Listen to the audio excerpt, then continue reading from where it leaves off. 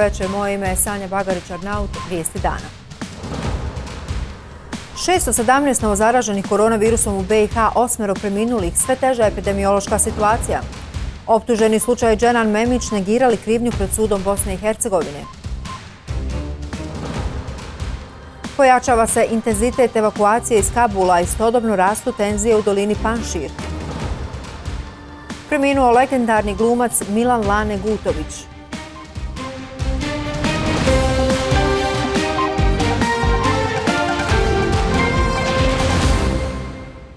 Pogoršava se epidemiološka situacija u Bosni i Hercegovini. Još osam osoba je preminulo od posljedica zaraze koronavirusom. Novozaraženih je 617, od testiranih 3058 uzoraka. Novi slučajevi registrirani su u svim kantonima u Federaciji BiH, osim u Bosansko-Podrinskom. U Republici Srpskoj najviše zaraženih je u Banjoj Luci, Trebinju i Bijeljini. Nadležni u Bosni i Hercegovini za sada najviše računaju na savjes pojedinca te apeliraju zaštitne maske uz cijepljenje najpouzdaniji su oblik zaštite od zaraze. Ipak sve veći broj oboljelih i slab postotak cijepljenih vodi ka pooštravanju mjera. O njima se uveliko razmišlja, ali za sada je samo izvjesno da neće biti iste u oba entiteta. Delta soj koronavirusa je odgodio globalnu pobjedu nad pandemijom. Novi vali u Bosni i Hercegovini je u punom zamahu. U glavnom gradu brojke novozaraženih rapidno se povećavaju i trocifrene su na dnevnom nivou. No vlasti još nisu sigurne koji odgovor je adekvatan. Glasno razmišljaju o ograničenom kretanju za nevakcinisane, kakvih je gotovo 90 od 100. Konačne odluke još nema. Infektolog Ednan Drljević misli da mjere kakve god da budu moraju biti usklađene u svim dijelovima Bosne i Hercegovine da bi zaista bile djelotvorne. U Bosni i Hercegovini znači, nema niže jedinice ovaj, od, od države u pandemiji. Branislav Zeljković, direktor Instituta za javno zdravstvo Republike Srpske, najvažnijim smatra poštovanje propisanih mjera, za koje ne vjeruje da će biti jedinstvene u oba entiteta. Napominje da konsenzus ne postoji ni među kantonima federacije. Republika Srpska tvrdi spremno dočekuje novi val. Također pred nama je početak nove školske godine, tako da ćemo i tu temu posebno obrati. Kada uzmemo obzir sve činjenice, određene mjere će biti pripremljene u smislu i broja lica na javnim i privatnim okupljanjima određenog dužini radnog vremena koje ćemo predložiti Republičku štabu za vanredne situacije dalje na razmatranje. Delta soj ili indijski soj krivac je za nepovoljnu statistiku u svim evropskim zemljama, pa i onim koje su prve dosegle zadovoljavajuće brojke vakcinisanih. Šta o povratku pandemijskom životu i mogućim ograničenjima misle građani u Republici Srpskoj i Federaciji. To je prljava politika, mislim. Ima bolesti, ima svega, ali ima i prljaštine puno. Bolje, što se kaže, ispriječiti nego liječiti. Gledajući ovako, mislim, situaciju, dobro bi bilo jel, da se narod pričuva. Malo se narod previše oslobodio, ali stvarno je situacija stvarno kritična, da nisu nesvjesni. Bez obzira na mjere, nadležni ipak najviše računaju na savjest pojedinca. Zaštitne maske uz imunizaciju najpouzdaniji su oblik zaštite, kažu stručnjaci. Podsjećaju da i vakcinisani mogu da prenose virus, oni koji su prelažali mogu ponovo da se razbole, te da je pouzdanost testova nedovoljna. Zato bi bolnice i klinički centri ponovo mogli da podnesu najveći teret. Svi zajedno apelujemo na stanovnike da se vakcinišu. Imamo dovoljno vakcina u Republike Srpskoj federaciji i znači velika molba svih nas zdravstvenih radnika jeste vakcinacija, vakcinacija i to odmah sutra. Sa vakcinom ili bez nje, naivno i opasno je vjerovati da virus ne postoji i da ljudi umiru od nepostojeće bolesti, kažu ljekari. Hoće li nevakcinisanim u kantonu Sarajevo, gdje je situacija trenutno najuzbiljnija, biti ograničeno kretanje, bit će poznato sutra. Iz institucije Ombudsmena Bosne i Hercegovine poziv na oprez i detaljnu analizu potrebe prilikom donošenja takvih mjera. Zijad Mutap, Alisa Mutap-Ramić, Hasan Dupovac, Josip Barić i Muamer Ožegović izjasnili su se da nisu krivi ni po jednoj točki optužnice u predmetu Dženan Memić. Optuženi se terete za organizirani kriminal i spriječavanje, otkrivanje i dokazivanje uzroka stradanja mladića Dženana Memića. Obitelj Memić poručuje kako su očekivali da se optuženi ovako izjasne. Najavili su nove prosvjede. Detalji ročišta donosi Dario Drmač. Svih peter optuženih u slučaju Dženan Memić negirali su krivnju pred sudom Bosne i Hercegovine. Za obitelj Memić ovako izjašnjavanje nije iznenađenje. Otac stradalog Dženana Muriz Memić kaže kako je to i očekivao, ali tvrdi da ima pouzdane informacije da će otvorena istraga biti proširena. Istraga svakako ide dalje, ima još mnogo ovih počinioca, ali uskoro ide istraga za ubijstvo. Biće otvorena istraga za ubijstvo, što je veliki napredak, znači čekalo se da se završi postupak na Vrhovnom sudu i eto uskoro očekujemo istragu za ubijstvo.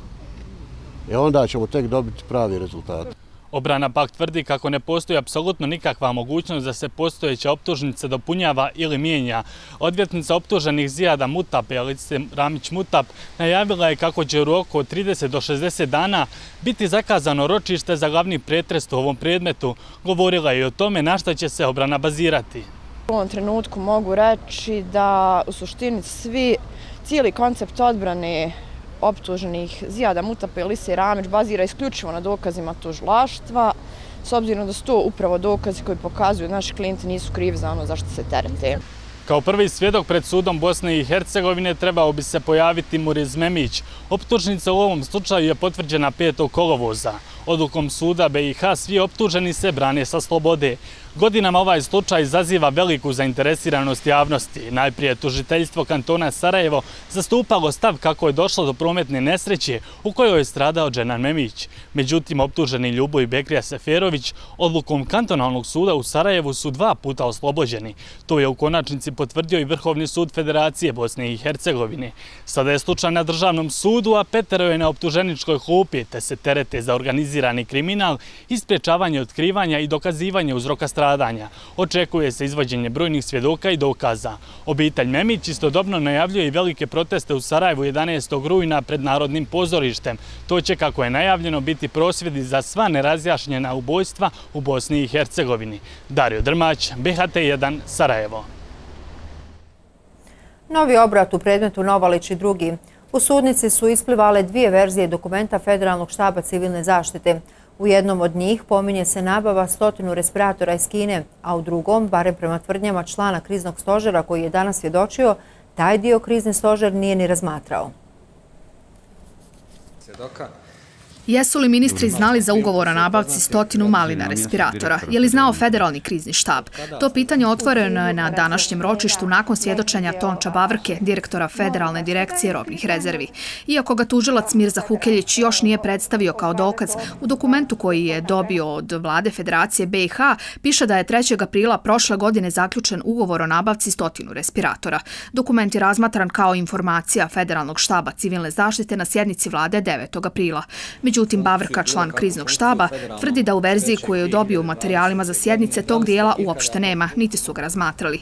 Isto to tvrdi i Senka Nožica, advokat Jelke Miličević, za verziju koju ima njena klijentica u svojstvu komandanta kriznog štaba. 29. jula sam dostavio tužilaštvu da nema ove rečenice u dokumentu. Telefonski smo razgovarali. Dobio sam dokument u printanoj formi.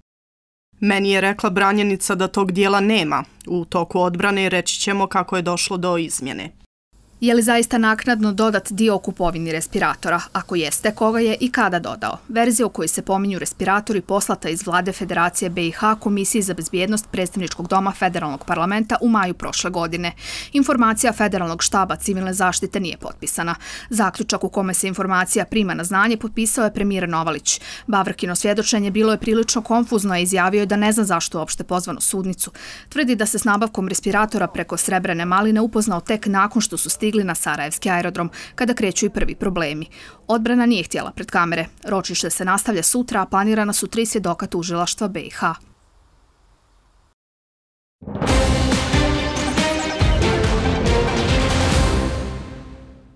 Pojačava se intenzitet evakuacije iz glavnog grada Afganistana nakon najave američkog predsjednika da će se vojnici njegove zemlje povući do 31. kolovoza.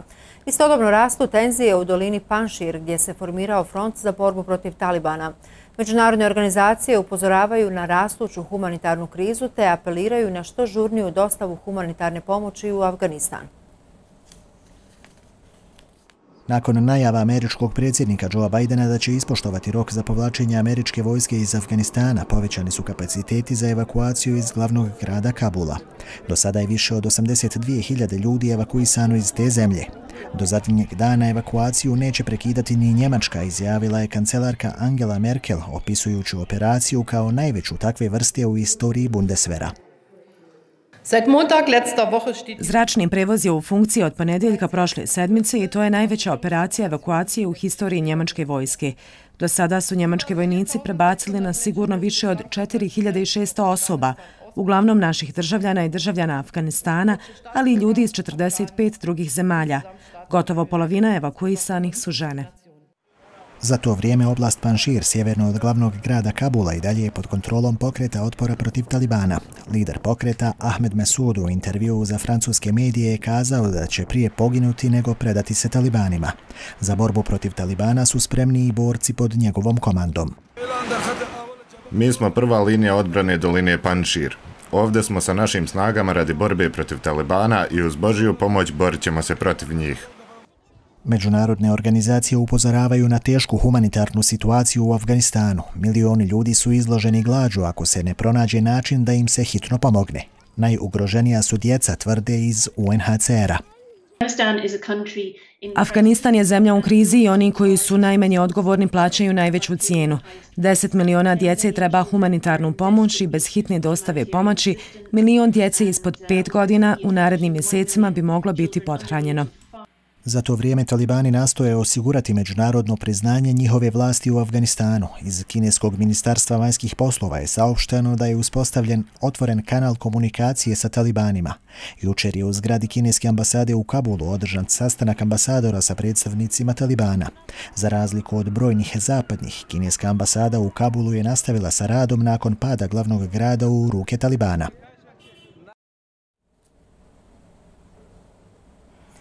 Metropolit Crnogorsko-Primorski Joannik je potvrdio je kako će njegovo ustoličenje 5. rujna biti na Cetinju, usprko s pozivima da zbog podignutih tenzija ono bude izmišteno. Jedan od čelnika Demokratskog fronta i član Vijeća za nacionalnu sigurnost Milan Knežević jučer je najavio kako će to vijeće te Vijeće za obranu i sigurnost odlučiti gdje će biti ustoličenje metropolita, na Cetinju ili u Podgorici. U nedjelju je na Cetinju održan prosvjed na kojem su tisuće ljudi poručile kako ne žele ustoličenje mitropolita Joannikija u tom gradu. Prosvjede su predvodili predstavnici kanonski nepriznate Crnogorske pravoslavne crkve kao i pojedini zastupnici DPS-a.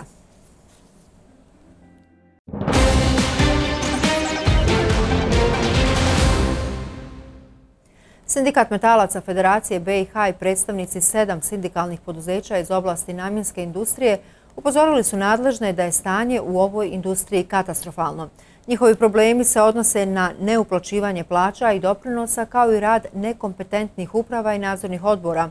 Poduzeća nepovratno propadaju i poručuju da su spremni na generalni štrajk. Svima im je zajednički vlasnik vlada Federacije BiH. Ovo je ono što je ostalo od jugoslovenskog giganta firme Zdrak. Firme koja se prostirala na 45 hektara. Firme koja je upošljavala 4500 građana i koja je svoje proizvode i uređaja izvozila u sve zemlje svijeta. Danas drugačija slika. U Zdraku je zaposleno tek stotinjak radnika koji godinama upozoravaju na kriminalne radnje u ovom preduzeću, da se perspektivna imovina rasprodaje, da se iznajmljuje, da su milijonski gubici zraka, a sve sve je kulminiralo posljednjih mjeseci obustavom proizvodnje i protestom radnika. Dvije mašine stare preko 20 godina su plaćale 85.000 eura, a da pritom nisu uopšte bilo u funkciji. Nakon toga e, kupljene još dvije mašine koje su plaćene 15.000 eura, evo pogledajte ovdje, stare 30 godina, e, koje e, realna im je cijena 500 eura. Hala koja ima 7.500 kvadrata, u kojoj je bilo preko 200 mašina, je iznajmljena za magazin po i to je prikazano da je 5000, znači 2500 kvadrata je nestalo, iznajmno po cijenu dvije marke. Dio zemljišta je prodan po direktorovim papirima, još što nama da ode za 3 miliona maraka, pritom je naplaćen 1 300 hiljada, milion 700 hiljada niko ne zna ni gdje, ni zašto nije naplaćen. I to je slika namjenske industrije u Federaciji BiH.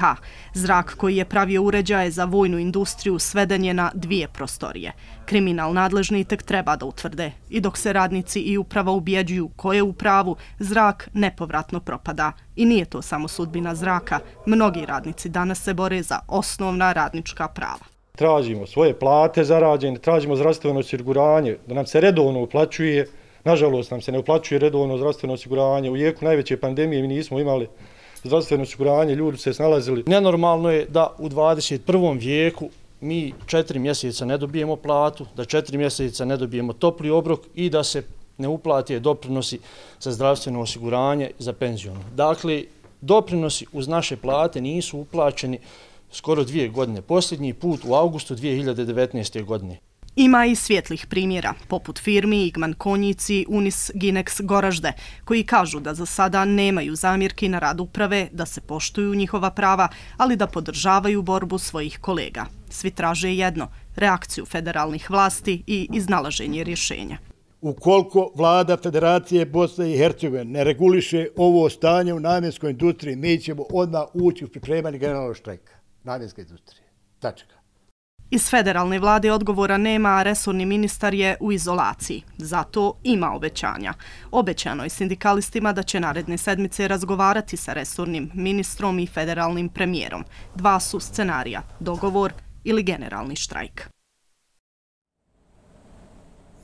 31 godina je prošla od najteže rudarske nesreće u Bosni i Hercegovini. Članovi sindikata rudnika Uglja Kreka u Tuzli danas su polaganjem cijeća i odavanjem počasti obilježili godišnjicu stradanja rudara u jami Dobrnja Jug.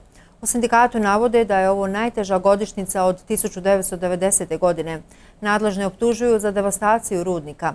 Iz uprave rudnika Kreka najavljuju da će svoj stav iznijeti sutra za kada su najavili obilježavanje godišnjice rudarske nesreće. Prije 31 godinu životi 180 komorata zauvijek su ugašene u eksploziji ugljene prašine u rudniku Mramor Kreka u jami Dobrnja Jug. Među poginulima bio je i Senad Ovotac, a danas Senad radi u rudniku u kojem se navodi kopa ugalj primitivnim metodama, dočekujući kaže i da se djeca poginulih rudara šalju kući uz prekid rada. Ako je moj komorat ima žensko dijete i njemu rečeno njegove će dijete sutra raditi ako on pogine, kakva je poruka ako prvo to dijete ide na prekid rada? Kakva je to sigurnost? Državo, šta radiš? Zatvorite rudnike, dovedite neko ko će vam raditi za 500 maraka. Neće rudar krijeke i radi za te pare. I sve možete pričat, ali ne možete kazati da ste uložili. Evo, rudnik vamo, dođite pa vidite. Dođite u sva radilišta obiđite. Nenormalni uslovi. Podsjećamo, nedavno je 111 radnik iz administracije dobio rješenje o prekidu rada uz 60% plaće, a radnici kažu da je 10% onih kojima su očevi stradali u rudarskoj nesreći. Dok su iz elektroprivrede nedavno naveli za BHT da se radi o mjerama za ozdravljenje rudnika. Iz sindikata navode da se u istoriji nije desilo da se isplati plata određenom broju uposlenika, da se zabrani štrajk rudarima i ističu da sva dešavanja podsjećaju na davnu 1920. godinu. Žandarmerijske snage su tada izvodile predstavnike uprave i predradnike. U augustu 2021. policijske snage izvode direktora rudnika Uglja Keka u Tuzlu, predradnike rudnika Uglja Keka u Tuzlu. Zatvorite, zbrinite, dajte socijalno prihvatljiv način. Na ovaj način, zar ja da ustanem protiv svoje države? Na čast onima koji ovo radi. Iz elektroprivrede su se nedavno obratili sa općenjem u kojem navode da je rudnik Kreka, koji je i pored značajne nabavke opreme putem dokapitalizacije za prvih sedam i po mjeseci isporučio oko 300.000 tona uglja manje od ugovorenog. Dodaju i da su zastoj u restrukturiranju rudnika i smanjene isporuke uglja doveli termoelektranu Tuzla u stanje kakvo nije zapamćeno ni u najtežim periodima njenog postojanja. Kontaktirali smo i direktora rudnika Kreka Huseina Trumića koji nam je u telefonskom razgovoru kazao da će informacije dati na pres konferenciji koju će, kaže, upriličiti u narednim danima. A godišnjicu stradanja rudara u jami Dobrnja Jug predstavnici vlasti i rukovodioci obilježit će sutra. Mirala Bektić, BHT1, Tuzla. U Republice Srpskoj federaciji BiH doći će do povećanja mirovina, bar tako tvrde entitetski premijeri. Predsjednik vlade Republike Srpske Radovan Višković najavio je da će mirovine u tom entitetu od rujna biti povećane za 2%. Za ovo povećanje, kaže vlada, će izdvojiti 2 milijuna maraka iz proračuna, što je od 2012. godine, kako tvrdi, povećanje za gotovo 35%. Oglasio se i federalni premijer Fadil Novalić. Na društvenoj mreži Facebook obećao je da će mirovine i u Federaciji BiH rasti. Kako je naveo, rezultati potvrđuju da on svoja obećanja ispunjava. Iznio je statističke podatke i pohvalio se ostvarenim rezultatima.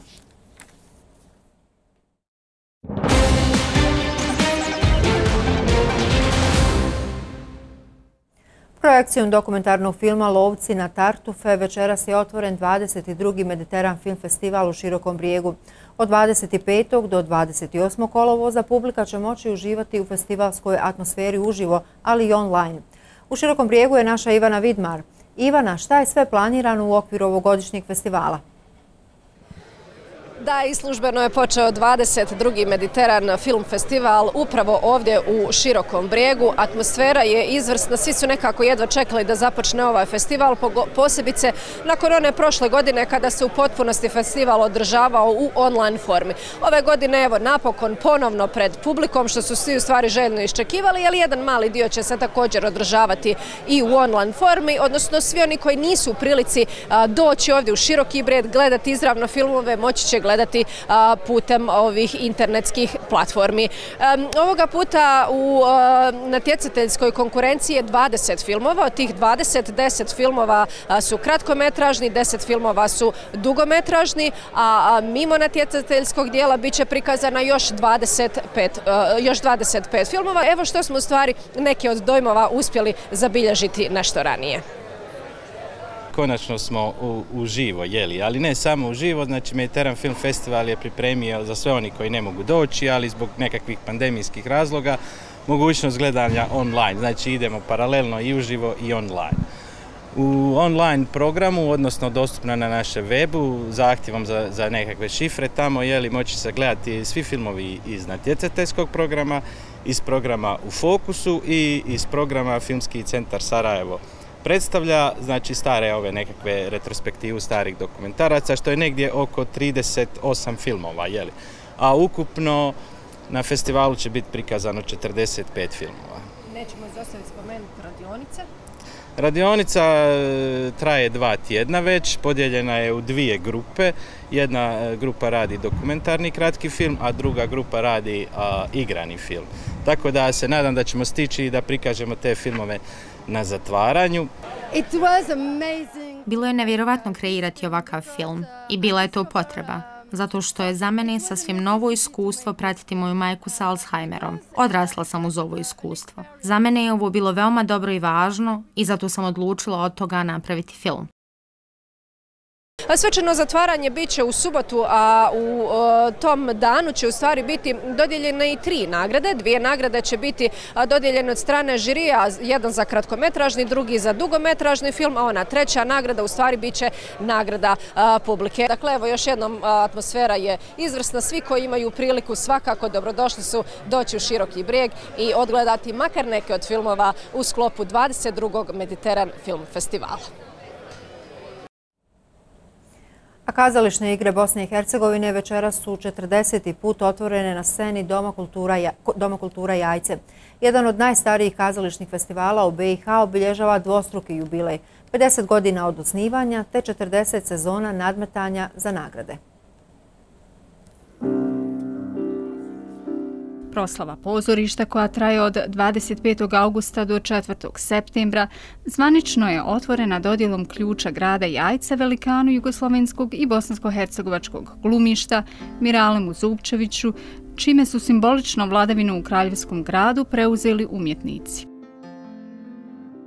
Jajce, evo, po 40. put ove godine otvara svoje kapije, odključava ih i predaje u ruke umjetnicima. Neka igre počnu. Prva predstava koju je publika mogla da pogleda je Schindlerov lift, autora Darka Cvjetića u režiji Kokana Mladenovića Kamernog teatra 55. Za jubilarne pozorišne igre Jajce nije bilo selekcije, jer su u direkciji festivala omogućili svim profesionalnim pozorištima da učestvuju sa pojednom predstavom po njihovom izboru, koja je producirana prošle i ove godine. Na festival je prijavljeno 10 predstava. Igre su od uvijek, pa tako i danas, mjesto stvaranja susreta, dijaloga, komunikacije, ideja, novih projekata kojima je teatar zajednički nazivnik, ali uključuje i podrazumijeva i druge umjetničke discipline, odnosno promovira književnost, likovnu i glazbenu umjetnost, te kulturno-povijesnu baštinu. Prateći program donosi izložbe portreta glumaca, promocije knjiga, a bit će prikazani i dokumentarni film o igrama. Neka igre traju 40 godina pozorišnih kazališnih igara u Jajcu, autora i scenariste Dževdeta Tuzlića. Ove godine prigodnim programima organizatori će se prisjetiti i preminule književnice i dramaturginje Ljubice Cice Ostojić te glumca Dragana Jovičića. Legendarni glumac Milan Lane Gutović preminuo je u 75. godini na Vojno-medicinskoj akademiji u Beogradu, potvrdio je agenciji Beta Gutovićev sin. Sredinom kolovoza je primljen u bolnicu nakon naglog pogoršanja zdravstvenog stanja izazvanog koronavirusom. Lane Gutović je važio za jednog od omiljenih komičara današnjice. Karijeru je započeo 1967. godine. Ostvario je uloge u brojnim serijama, filmovima i kazališnim predstavama.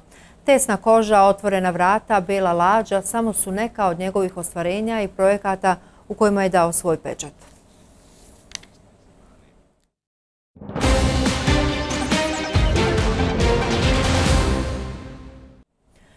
Bosna i Hercegovina ima prvaka Europe u olimpijskom tekvandovu do 21 godinu.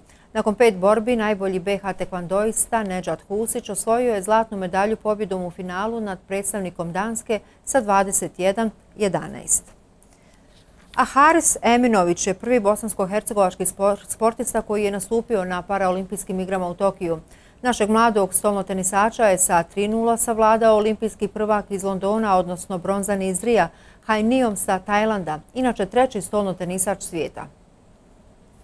Pružio sam mu dobar otpor, nisam se predao, međutim eh, njegovo veliko iskustvo iz proteklih 4-5 olimpijada koji je nastupao i ipak njegov kvalitet je prevladavao i naravno nisam nezadovoljan, odigrao sam dobar svoj stoni tenis, sutra se okrećem svom drugom meču, E, sutra igram protiv e, najboljeg njemačkog igrača e, Rau Tomasa e, koji je trenutno treći igrač e, u Evropi i šesti na svijetu. Naravno, prednost je na njegovoj strani, ali svakako da se neću predati i daću sve od sebe. I toliko u trećem dnevniku. Hvala što ste nas gledali i laku noć.